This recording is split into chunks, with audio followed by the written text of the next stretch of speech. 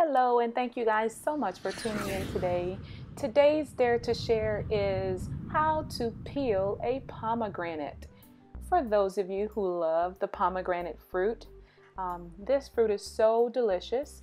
Um, it is filled with tens of arils and they're very juicy. Um, there's a tart sweetness to it.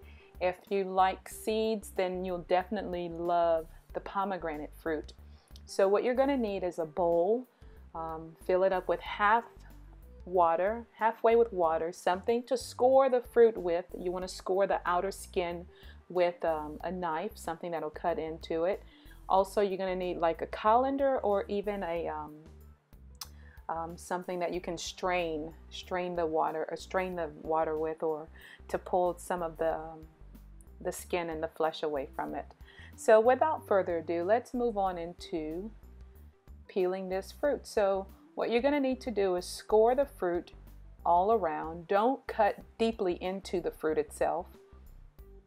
Um, once you've scored it or scored the fruit around, you want to peel away, just breaking it away, and the skin will give. It's very tough initially, but as you apply more pressure to peel it away, you'll be able to pop a portion of the fruit away from the body of it.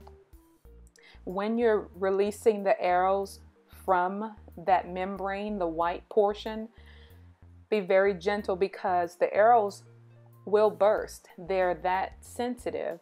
Um, but what I like to do is keep the fruit submerged in water, sort of, and just peel away the arils and that kind of helps with um, getting the arils released from the membrane.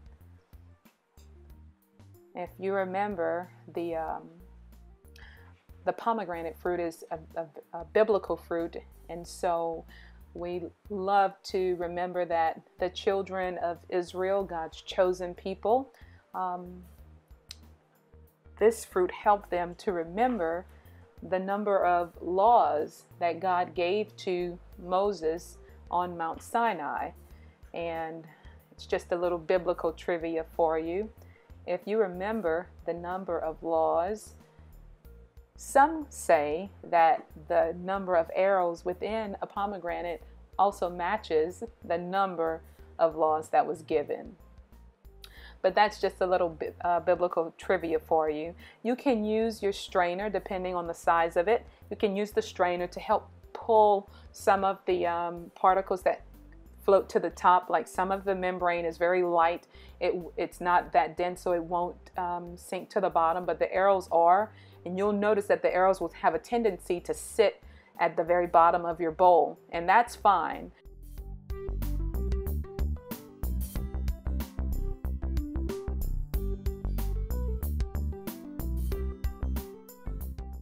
Once you've finished peeling the pomegranate and you're satisfied with all the arils that you've um, accumulated, you can strain the liquid from the arils or try to pour them out and then take a sheet pan like a cookie sheet pan and spread the arils out over the sheet pan and then just pop it in the freezer for a few hours and then you'll have nice cool crisp arils that you can use in baking, making drinks or smoothies You'll be very pleased with it. I hope this video was very beneficial to you and I hope you enjoyed it. Thank you so much for watching. Please like this video and subscribe to my channel. As always, God bless you and have a great day.